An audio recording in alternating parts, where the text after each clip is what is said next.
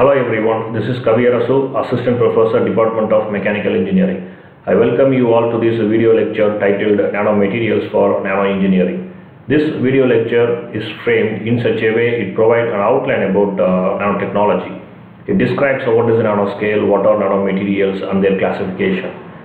This video lecture emphasizes the various fabrication techniques which are employed for fabricating the nanomaterials, especially nanoparticles and uh, nano thin films.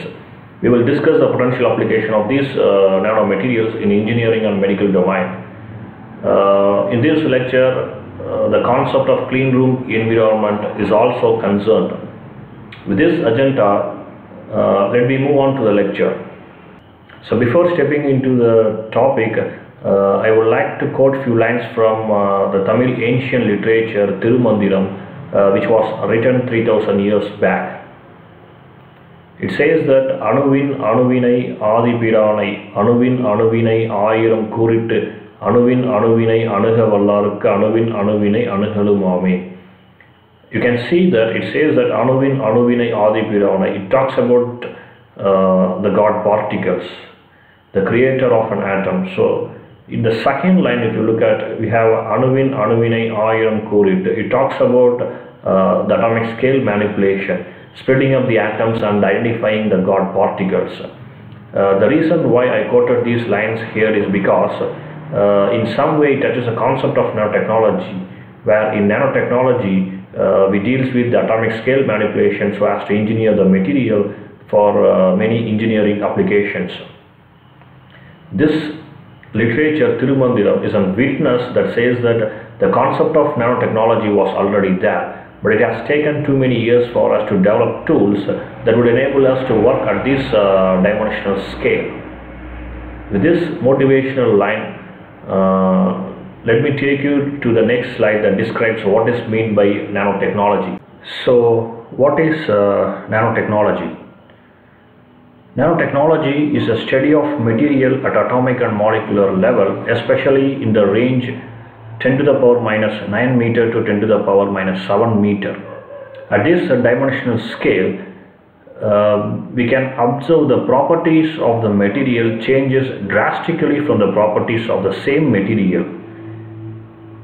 Say for example, if we take a gold material which is chemically inert at bulk scale and if you reduce the dimension of the material to a nanoscale, you can observe the same gold material becomes more active. So this kind of a property change happens at the nanoscale.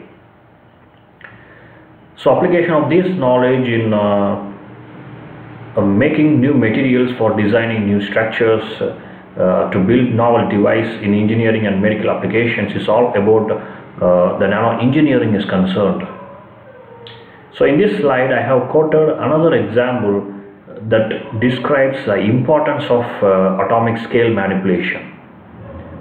A recent uh, research from the University of Illinois that states that the atomic scale manipulation can be used either to enhance or disrupt the heat flow.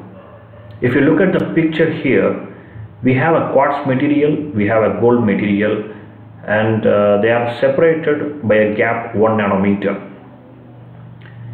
We have certain arrangement of the atoms here that act as an interface between the gold and the quartz. When we apply a heat pulse over the gold surface, heat flow happens across the interface. And you can see depending on the type of the bonding uh, either a weak bond or strong bond we can uh, either disturb the heat flow or we can enhance the heat flow.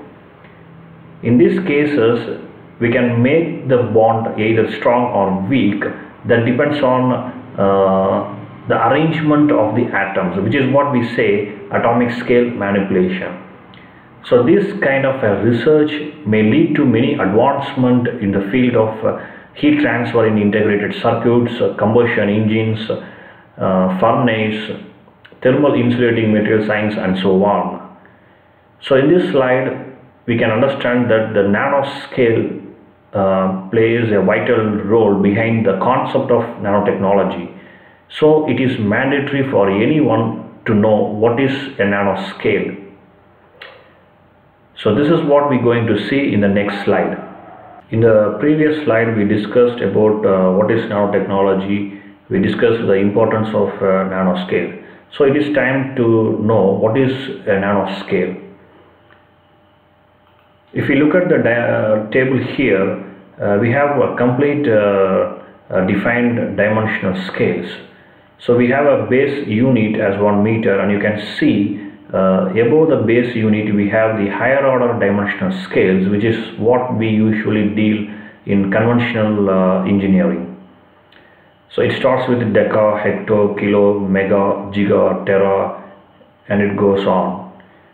But there are scales below the base unit which is called uh, lower order dimensional scales and this nano falls in the lower order dimensional scales and you can see it starts with the deci, centi, milli, micro and nano.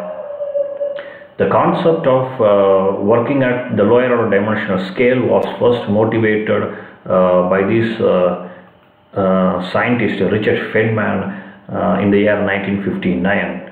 So during his uh, talk at the American Physical Society in Pasadena, he made a clue that there is a plenty of room at the bottom that one can uh, reduce the size of the things in a practical way. And uh, since then, uh, many researchers started to work at these lower order dimensional scales. As I said before, it has taken too many years for us to develop tools that allowed us to work at this dimensional scale. You can see there are scales below the nano, which is a pico, femto, atto, uh, and the list goes on. In my opinion, uh, in another 30 40 years people will start to talk about uh, pico technology femto technology atto technology but, but the real question is whether we will have tools that would enable us to work at this dimensional scale only the time has to answer from the understanding of the dimensional scales especially the nanoscale one can imagine that what our nanomaterials could be or what size they could be so let me put a clear definition to this. Um, based on the ISO 2010 and the European uh, Council recommendations, uh, we can define that uh, the nanomaterials or uh, any material which have an internal dimension or the external dimension or uh, its surface structure that falls in the range 1 to 100 nanometer in size, uh, they are said to be a nanomaterial. To have a clear understanding, so imagine that we have uh, a rod.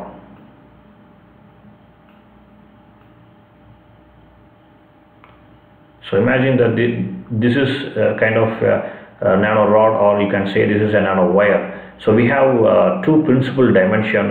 Uh, one is the diameter and uh, the other one is a length. So this is, let me say this as a nano wire uh, which have a diameter and length as two principal dimensions. The minimum criteria that uh, the material can be said as a nanomaterial is if any one of these principal uh, dimensions uh, should be nanoscale.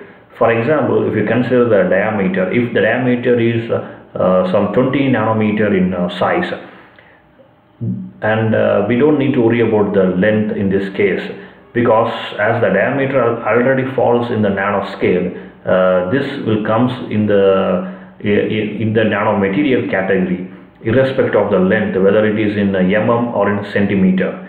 So the criteria is uh, any one dimension should falls in the nanoscale. In, in, in such case the materials are considered as the nanomaterials. And uh, these nanomaterials are classified based on uh, the dimensional structures based on the composition whether they are metal based or carbon based we have a broad classification of these materials and that will be discussed uh, in the upcoming slides from now uh, we will look at the classification of uh, nanomaterials based on the dimensions to have a clear uh, view, let me take you to the full slide view mode so that we can have uh, a very good discussion about uh, the different types of uh, nanomaterials. The classification based on the dimension, we have a range of nanomaterials. First, we have a nanoparticle and clusters. Usually, they are zero dimension in structure. It is because at nanoscale, nanoparticles are considered to be a tiny point and they don't have any surface extended. When these nanoparticles are grouped, they are called as nanoclusters. Next we have a nanowires, rods and tubes and usually they take a one-dimensional structure as you can see here they have a surface extension in one direction. Next we have a nano thin films which is a two-dimensional structure. You can see we have a surface extension in the x and y direction. Sometimes they are called as uh, nano sheets with negligible thickness. So next to thin films we have a bulk nanomaterials. Usually these bulk nanomaterials uh, will be in combination with any one of these uh, above said nanomaterials and they take a three-dimensional structure. If you look at the figure here, uh, we have uh, three different uh, combination. So one is a matrix reinforced with a nanowire or nano rod. The other one is a matrix reinforced with a nanoparticle. And you can also have a combination with nanolaminates uh, made as a sandwich in the bulk material. So this kind of uh, bulk nanomaterial become fancy these days as they have as they have uh, potential applications in developing vehicle structures with uh, lightweight and high strength. These materials can also be classified based on the quantum confinement. The most familiar term in the nano world is the quantum confinement.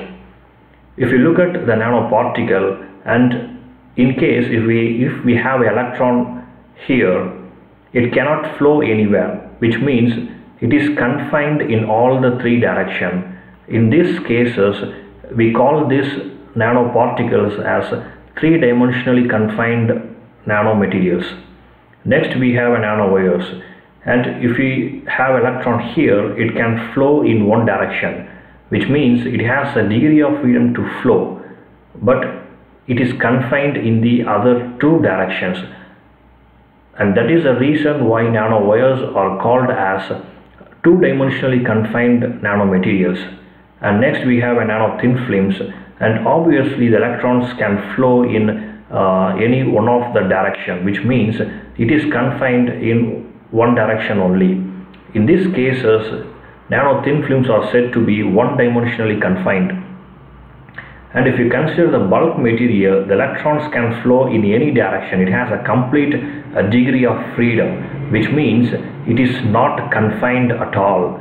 In that cases it is called as zero dimensionally confined nanomaterials. So the next classification of uh, nanomaterial is based on uh, carbon materials. We have four uh, familiar allotropes of carbons uh, namely graphite uh, diamond fullerenes and carbon nanotubes. If you look at these allotropes, uh, graphene is a basic element, only the structural arrangement that differs. If you look at the structure of the graphite, we have a layered structure and each layer uh, consists of a carbon atoms strongly bonded with one another. But they have a weak bond between these layers and uh, that is why it, it makes a material more soft. If you look at the diamond, here if you look at the structure the carbon atoms are randomly distributed there is no uh, layer kind of arrangement. It is a randomly distributed and that makes the material uh, more strong. So this clearly says that the structural arrangement plays a vital role in defining the properties of the material. And if you look at the fullerenes we have a C60 which is uh, 60 carbon atoms that are uh, formed to make a fullerenes.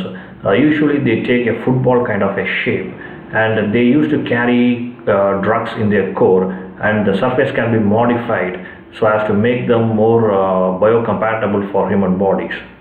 And next we have uh, carbon nanotubes uh, which are which are formed by rolling a graphene sheet into a hollow cylinder these uh, carbon nanotubes may have a closed end or sometimes they have open end.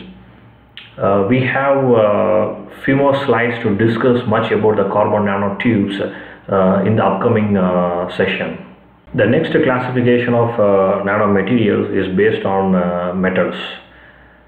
So we have quantum dots, nano gold and uh, titanium oxide nanoparticles are the most commonly used metal-based nanomaterials. If you look at the quantum dots, they have a very different optical properties which is a size dependent. Say for example, we have a cadmium selenium quantum dot which can emit different colors of lights and that completely depends on the size of the quantum dot. Say for example, if we have a, a 2 nanometer quantum dot, it can emit a blue light and you can see the color uh, shift from blue to green as we increase the size from 2 to 3 and then it shifts from green to red as the size shifts from uh, 3 nanometer to 6 nanometer uh, in size. So this kind of uh, optical property have made this uh, material more suitable for many uh, electronic applications. Next we have a gold material which is in use for many years. These gold nanomaterials are used in uh, medicines. It is made such a fine that it can get digested by the human body. So these kind of uh, uh, applications uh, make the gold material a special candidate in, in nanomaterials. And next we have the titanium oxide nanoparticles. These uh, titanium oxide nanoparticles are used in paintings, coatings and uh, self-cleaning ceramics which is very trendy these days as they can uh, uh clean the dirt which deposit over their surface. So that kind of uh, trendy applications can be found by using these titanium oxide uh, nanomaterials. So with this we complete the classification of nanomaterials and uh, from next slide we will discuss about uh, the various fabrication techniques uh, that are in use for fabricating the nanostructured materials. Fabrication of uh, nanomaterial is of uh, two different types. One is a top-down approach, the other one is a bottom-up approach. Uh, we have a diagram to explain these concepts. So if you look at the top-down approach, it involves in slicing or cutting off a bulk material into uh, nano-sized particles. The most familiar types of uh, top-down approach is a ball milling and lithographic process. On the other hand, we have a bottom-up approach which involves in using atoms, molecules and even particles at nano size as, as a building blocks to develop uh, nanostructures and uh, the most familiar types of bottom-up approach are uh, chemical vapor deposition and molecular beam epitaxy. We also see some ordering of nanosystems uh, that occurs uh, naturally by uh, uh, self-assembly and self-organization principles to form single atomic monolayers. We have slides that discuss each of these processes in a detailed manner. The first uh, nanofabrication method based on the top-down process uh, is a high-energy ball milling, which is the most commonly used technique uh, in industries for fabricating ceramic and metal nanopowders. Uh, this technique can also be used uh, to produce polymer-based nanopowders in these days. If you look at the diagram here, we have uh, two hot steel balls rotating at a high speed and we have uh, coarse grained microstructures uh, feed uh, straight away to these hot steel balls where they crushed to form nanopowders. If you look at the mechanism here, it is very simple that the deformation occurs under the shear condition and the high strain rate that leads to the formation of the nanostructures. Uh, here uh, the development of the laminar structure is a key and then uh, that leads to the grain size refinement. The only drawback by using this uh, technique is we cannot have a uniform size of uh, nanoparticles produced. Instead, we will have uh, a range of uh, grain size. Um, the advantage of this uh, technique is uh, this can be used in, in mass production and that is why it is in the interest of industries for fabricating the nanopowders. So next to this high energy ball milling, uh, we have a lithographic process which also comes in the uh, in the top down process and this is used to create nanostructures based on the formation of a pattern on the on the resist or a pattern on the substrate through the creation of resist on the substrate. If you look at the diagram here, we have uh, a mold with a certain shape and this shape will be transformed uh, to the resist which is coated over the substrate. When we hot press the mold, uh, the shape got transferred to the resist and uh, when we subject this uh, to a etching and we will remove all the unwanted portion, we will have a certain pattern uh, which is developed and this developed pattern will be used for various lithographic process uh, in case if we use this developed resist pattern as an etch mask, uh, this will be subjected to uh, dry etching where uh, the uncovered portion will be etched off and this kind of a structure can be used as an interconnect for any device. In case if we use this resist as a template, uh, we can use this for metal deposition where we can see here uh, the, the metal got deposited over the surface of the resist as well as uh, the surface of the substrate. And when we dissolve these uh, these uh, in, in a solvent uh, we can see that um, the resist will get dissolved off and this will form a structure. We can use this as an interconnect for microelectromechanical systems or even uh, we can subject this again for etching uh, to make another structure. So this kind of uh, technique is used in semiconductor processing industries uh, to fabricate integrated circuits and also for producing the uh, microelectromechanical systems. In the previous slide we discussed about uh, the nanofabrication techniques based on the top-down process. Now we will look at the fabrication techniques which are based on bottom-up. The first technique which we going to see here is a molecular beam epitaxy. Uh, this is a crystal growth technique in which we grow epitaxial single atomic layer on a heated substrate uh, which is maintained under ultra high vacuum condition. Let me explain in detail uh, with the help of the schematic diagram. So this shows a complete experimental setup for making a thin film and uh, you can see we have a substrate holder and heater uh, which is used to hold the substrate and maintain the substrate at certain temperature. Next we have a ion sputtering gun which is used to clean the surface of the substrate uh, before we start the deposition. So the ions from this gun will sputter the surface of the substrate and make the surface uh, ready clean for deposition. So next we have uh, the effusion cells which is also called as a Knudsen cells in which we have all the chemical compounds like uh, indium, gallium, arsenite, uh, lead and so on and uh, you can see these components may be either in form of a solid or gas. So we have a separate uh, heater unit uh, which is controlled by the processor and it is used to heat, heat the chemical source to 500 to 600 degrees Celsius um, by which these uh, solid components will evaporate uh, and uh, they will deposit over the substrate surface and these effusion cells can be opened and closed with, with the help of a shutter control. Um, for example, when we have this indium effusion cell uh, opened, the other uh, effusion cells will be closed so that we will have the first layer growth made up of indium.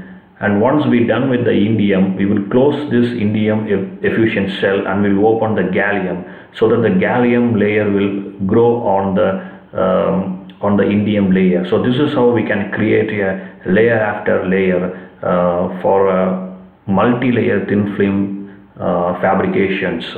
And you can see we have electron gun. Uh, from where the electrons hit the sample and they are collected in the uh, reflection high energy electron diffractometer. So we can uh, get all the details about the samples, especially the uh, the type of the thin film uh, thickness, and we can also study the crystal structure of these thin films. Uh, we have a mass spectrometer here to measure the mass to volume ratio of these chemical components which are deposited on the substrate surface. Uh, here we have uh, Auger analysis uh, spectrometer which is used to measure uh, in-depth structural arrangement of this substrate. uh, we have a liquid nitrogen coolant which is used to cool the system so that uh, it can uh, it can maintain the operating temperature and uh, uh, this complete process happens at ultra high vacuum as I said before so we, we will have a pump to maintain that pressure uh, which is around 5 into 10 to the power minus 14 atmospheric pressure usually the chamber size will be in uh, 1.5 meter in diameter and you can see uh, we can develop a gallium arsenide semiconductor thin films uh, with this kind of a molecular beam epitaxy. We often use this uh, molecular beam epitaxy to grow thin films, thin film structures uh, typically in the range from few nanometers to one uh, micrometer in thickness. Uh, many industries uses this molecular beam epitaxy to develop both single layer thin films and multi-layer thin films. the next topic which we're going to see now is the spin coating technique which is also uh, used for uh, making uh, nano thin films. Spin coating technique is a procedure used for making uniform deposition of thin films on a flat substrate. If you look at the diagram here, uh, we have uh, a rotating disc on which we will fix a flat substrate. We will pour the precursor solution at the center and, and set the disc to rotate at certain speed. So due to the centrifugal force, the precursor solution will spread over to form a uniform layer on the flat substrate and we will subject this for uh, heat treatment and finally we will have uh, the thin films formed. Uh, you can see here we have a uh, clear uh, step-by-step -step procedure uh, that describes the process.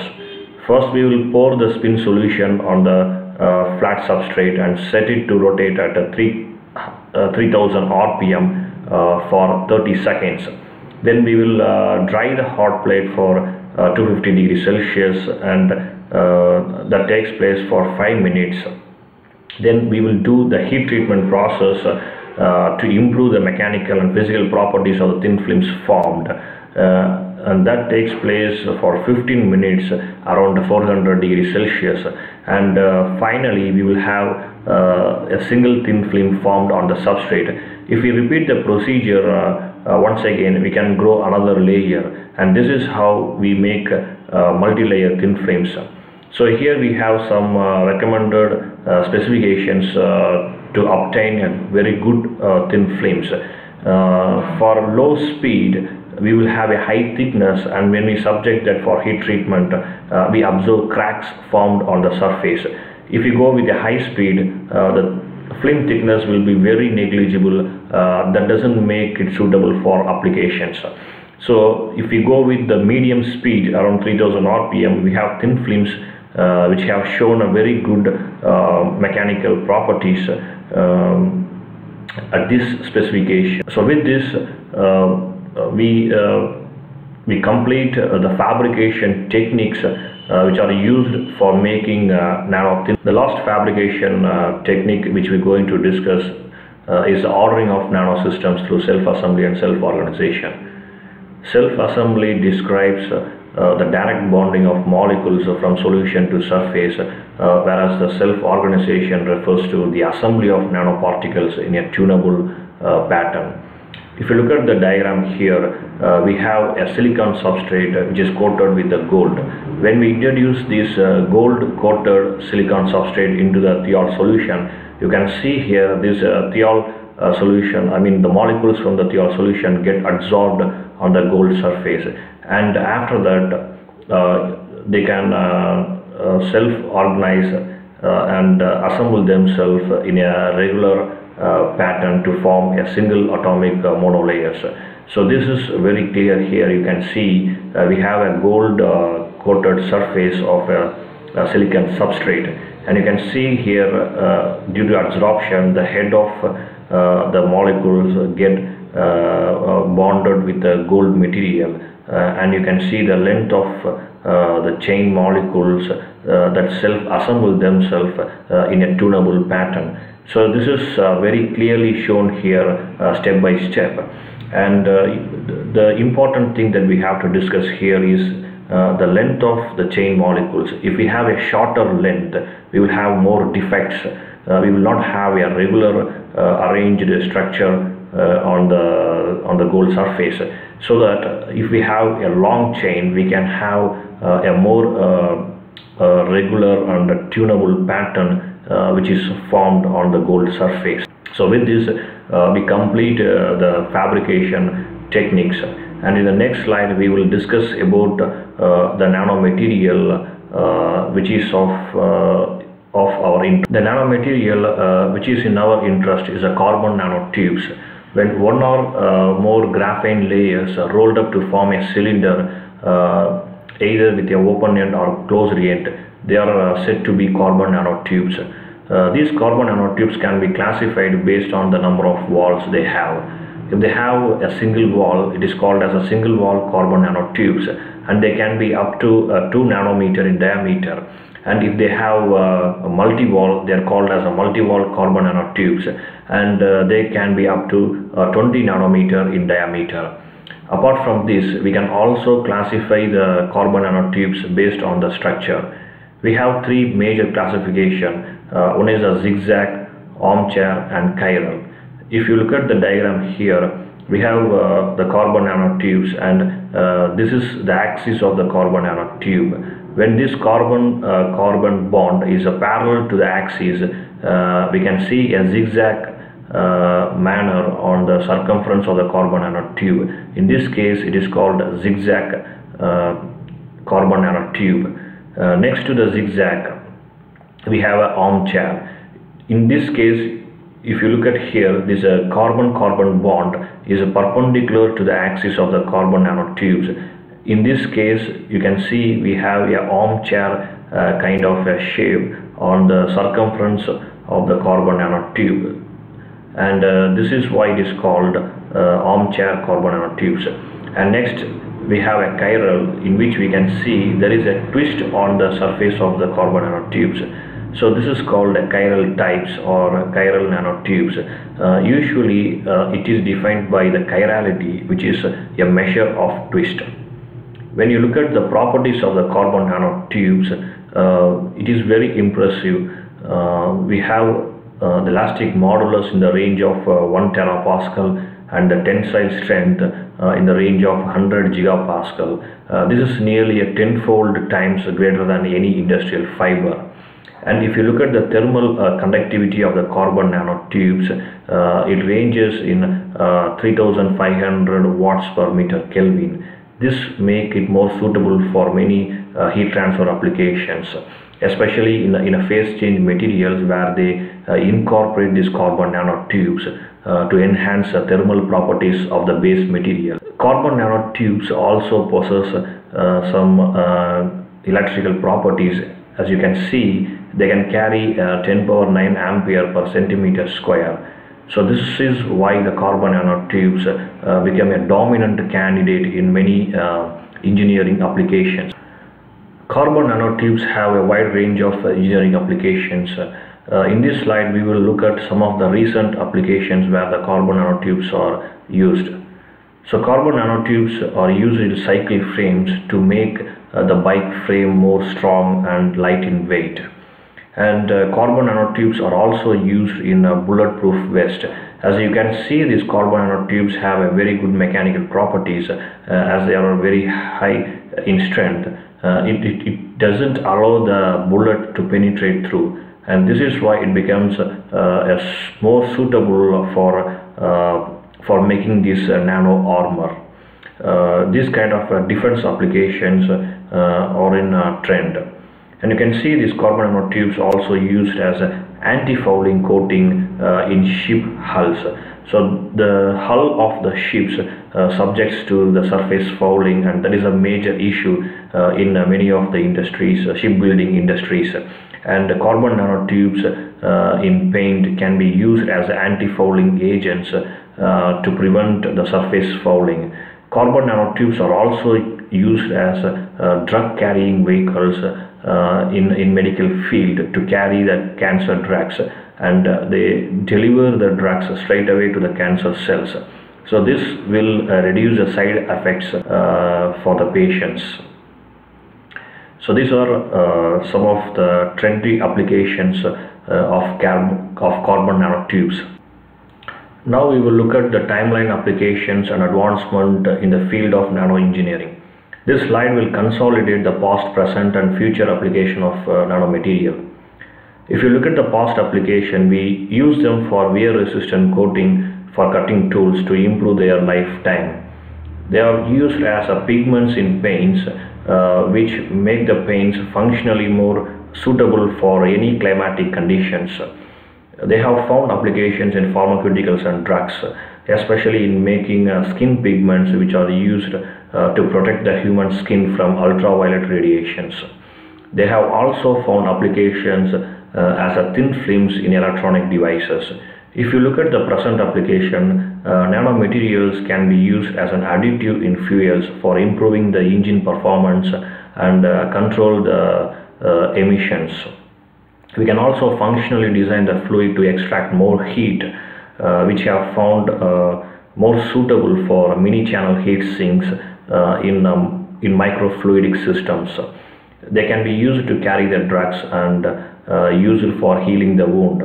In these days, we have uh, which are uh, used to heal the wound in an in a effective way and uh, biosensors and detectors are used uh, to monitor the human body uh, to detect any diseases that occurs uh, in the human body and if you look at the future application uh, we have many interesting things to come. The first one is a nano composite for vehicle structure. This may lead to many advancement in the field of vehicle structural uh, design and development.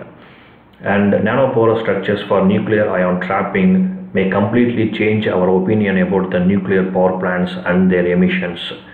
We can also use uh, nanobiomaterials for making artificial organs which could uh, replace the failed organs in the human body. And high-end flexible displays in the electronic gadgets, future applications of uh, nanomaterials. Uh, this will say that uh, the nanomaterials will definitely play a, play a dominant role uh, in the near future. The last topic of this uh, video lecture is the clean room environment uh, which has to be maintained for any nano laboratory. It is mandatory for anyone uh, to undergo the risk assessment procedure before involving ourselves in nanofabrication. as you can see here, the clean room uh, air handling itself a tedious job as we have to maintain uh, a positive pressure of a 5 pascal and uh, the room temperature should be maintained with 20 degrees Celsius with 45 percentage humidity and you can see here we have to employ uh, high efficiency particulate filters and ultra fine particulate filters to filter away the dust particles. Uh, this is need to be done because uh, the dust particles may tend to deposit over the nanostructure surface and that may lead to the surface contamination. You can also see here uh, one should wear proper uh, lab coats, gloves and goggles to avoid uh, exposure to the nanoparticles. Uh, it is with concern uh, about the human safety. So this uh, states the importance of clean room environment that has to be taken uh, in consideration for designing a nano laboratory. I have given all the references which I have used for making this video lecture. Uh, you can refer these articles for more detailed information about the nanostructured materials and the concerned engineering applications. Uh, I hope you all enjoyed this video lecture. Uh, thanks for watching. Take care. Bye.